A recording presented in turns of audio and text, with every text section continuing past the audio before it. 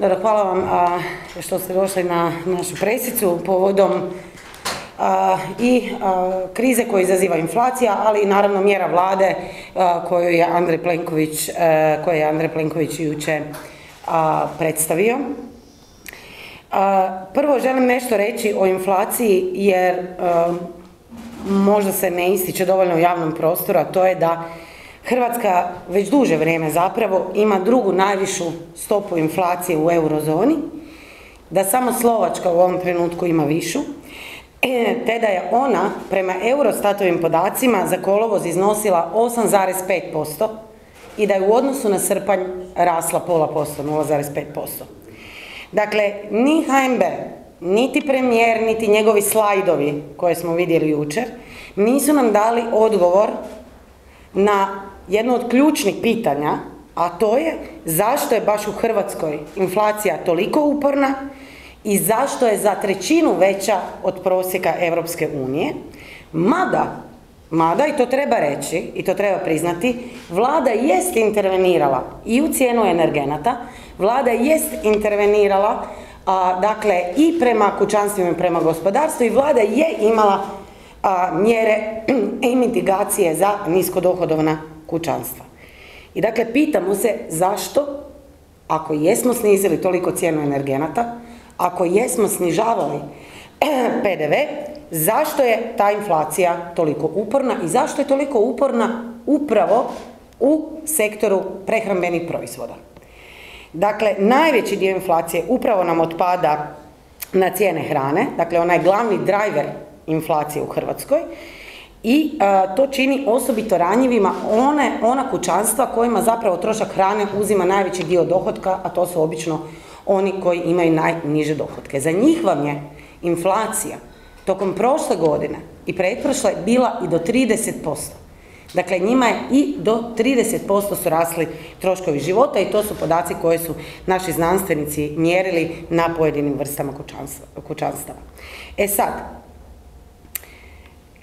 Pitamo se kako je moguće da u Hrvatskoj, gdje smo također snizili stope PDV-a sa 25% na 5% za određene proizvode, cijena tih proizvoda nije padala. A istovremeno primjerice u Španjolskoj i Portugalu gdje su provodili iste mjere, smanjili su PDV na određeni set proizvoda, je to imalo itekako značajan utjecaj na pad cijena prehrambenih proizvoda i onda i na ukupnu inflaciju koja je primjerice u Španjolskoj jedna od najnižih u Europskoj uniji i za prošli mjesec je iznosila 2,6%. Vrlo slične, gotovo iste mjere su provodile i naša vlada i španjolska vlada. Zato što se nama inflacija lijepi na strukturne, sustavne probleme koje HDZ namjerno i sustavno isto tako ne rješava 30 godina. Zato što nam se nalijepila na činjenicu da nemamo nikakvu prehrambenu samodostatnost i da ovisimo o uvozu hrane. Jer nam se nalijepila na činjenicu da je velika većina trgovačkih lanaca velikih u stranom vlasništvu. Pa nismo njihovo nekakvo primarno tržište za koje bi se oni borili. Nalijepila se i na činjenicu da su najveće banke u Hrvatskoj također u stranom, stranom vlasništvu pa su im i takvi uvjeti, o tome ćemo također nešto reći. I nalijepila se zapravo na činjenicu da je HDZ, a posebno, to moram reći posebno u vrijeme vladavine Andreja Plenkovića od 2016. nadalje, sustavno uništavala institucije. I sad ću vam dati primjer kako uništavanje institucija ima izravan utjecaj na to zašto su kod nas cijene hrane tako visoke. Dakle, u šestom mjesecu ove godine Porezna uprava izdala izvješće kojim je jasno rekla da je kod evaluacije mjera smanjenja PDV-a na prehrambene proizvode došlo do zaključka da cijene nisu padale, da trgovci nisu smanjivali adekvatno cijene i da je ta razlika otišla u marže. Dakle, to vam ne kaže bilo ko, to vam kaže vaše tijelo, vaša porezna uprava. Nakon što je to izvješće izašlo, šta je Agencija za zaštitu tržišnog natjecanja napravila? Ništa. Šta je premijer napravio? Jadikovao je da je snižavao PDV, a zločesti trgovci su digli marže. Ma da. A čija je to odgovornost? Pa njegova. To je njegova odgovornost. Jer je to pitanje djelovanja Agencije za zaštitu tržišnog natjecanja. U trenutku kada vidite da imate aktere na tržištu koji se netržišno ponašaju i umjesto da se takmiče u sniže, ko će više sniziti cijene, oni dižu cijene i dižu marže, onda imate slučaj za Agenciju za zaštitu tržišnog natjecanja. Da li je to napravljeno? Nije. Da li je iko kažnjen? Nije. Da li je primjerice Andrej Plenković rekao pa moramo nešto napraviti, da ćemo nove ovlasti agenciji? Nije. Zato jer i zapravo za korijene inflacije i sistemsko rješavanje inflacije nije briga. Nego će lijepiti flastere, kao što je ponudio u jučerašnjim mjerama, jer ih može lijepiti jer je on najveći profiter od inflacije. Najveći profiter inflacije je državni proračun. A sad da malo i to raspakiramo. Dakle, jučer je predstavljen paket mjera koji vrijedi koliko? 460 milijuna eura, ako se ne varam.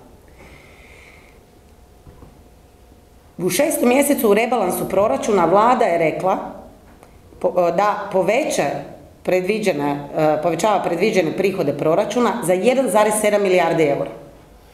1,7 milijardi. Dodatno još kroz porez na ekstra profit zaradila nekih 230-240 milijuna. Od toga paket prvi koji je išao ove godine i paket ovaj koji je predstavljen jučer, koji vrijedi do sredine sljedeće godine, dakle duže zapravo od godine, do, recimo godinu dana, je vrijedan jednu milijardu. A prihodi proračuna ne, ne samo da će biti 1,7, nego će biti daleko vjerojatno i veći od 1,7 milijardi. Šta hoćemo reći? Kada Andrej Plenković predstavlja da kao da on stvorio ta sredstva pa ih onda dijeli onome kome misli da treba, zapravo se radi o tome da samo dio novaca ko, koji je državni proračun profitirao na račun inflacije vraća onima koji su taj novac uplatili jer su im povećane cijene. I to treba znati i to treba otvoreno reći. Zbog tog razloga njegova napomena na računima koje šalje ljudima preko HEP-a da im je vlada omogućila točno toliko i toliko cijenu struje je zaista na razini cinizma. Jer kao prvo, to je dug HEP-a koji HEP guta, kao drugo, to je dug koji će građani itekako platiti. I plaćaju ga svaki dan. Ali dobro, kad se govori o mjerama, moramo reći da to da se subvencionira cijena električne energije posebno za nisko dohodovna kućanstva je apsolutno minimum koji treba napraviti.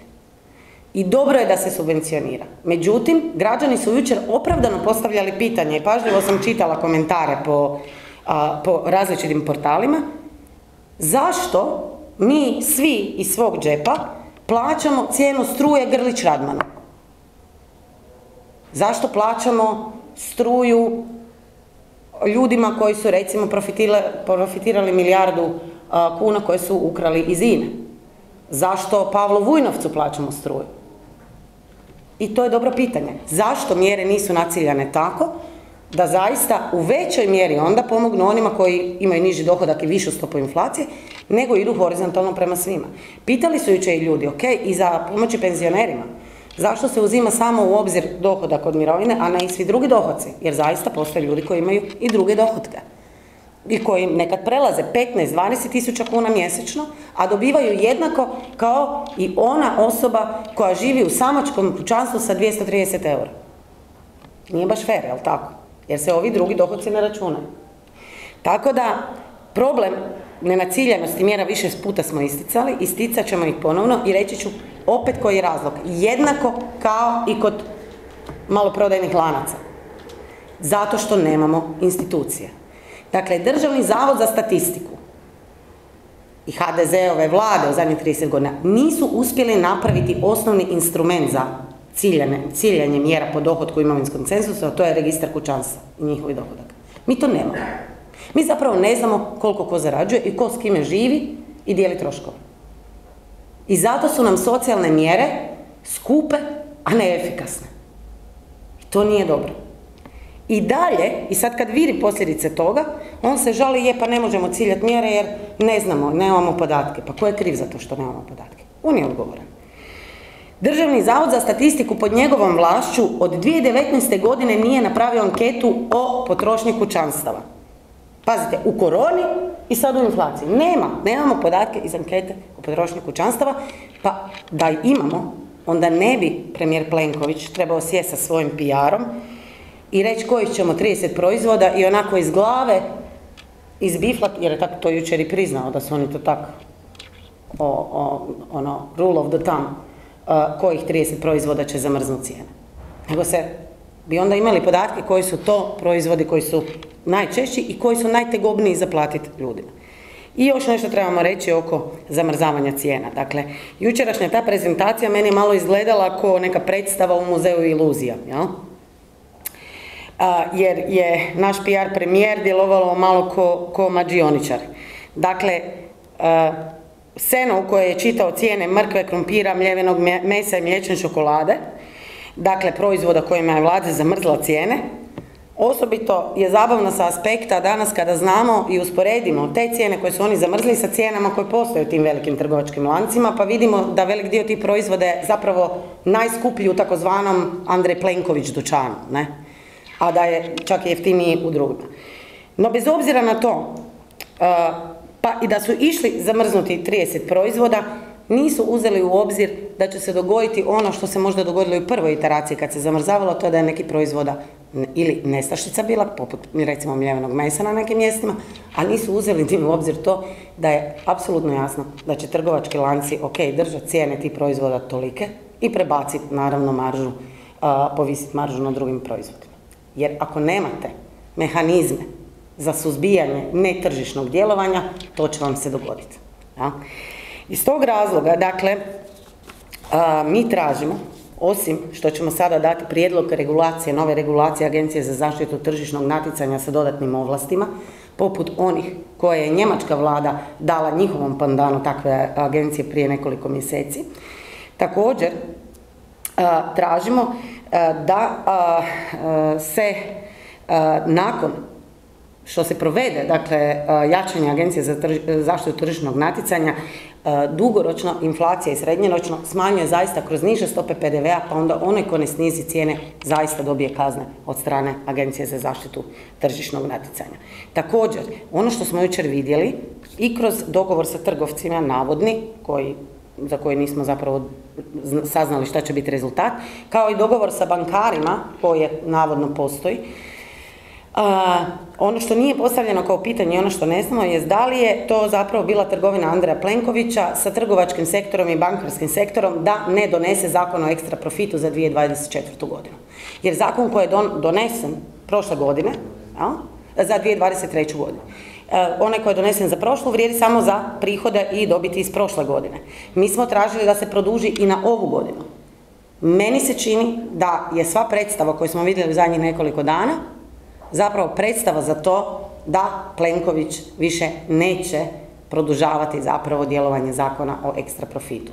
A šta to konkretno znači je sljedeće? To znači da u godini u kojoj su banke imale apsolutno maksimalne, maksimalne dobiti, zbog razlike u kamatnim stopama koliko su novac naplaćivali građanima, dakle digli, digli kamate, a koliko su plaćali štednju, dakle ništa, plus još će 460 milijuna eura do kraja godine dobiti kao poklon od HNB-a zbog administrativne mjere propisane od strane Europske središnje banke, oni na to neće platiti izgleda niti centa ekstra profita.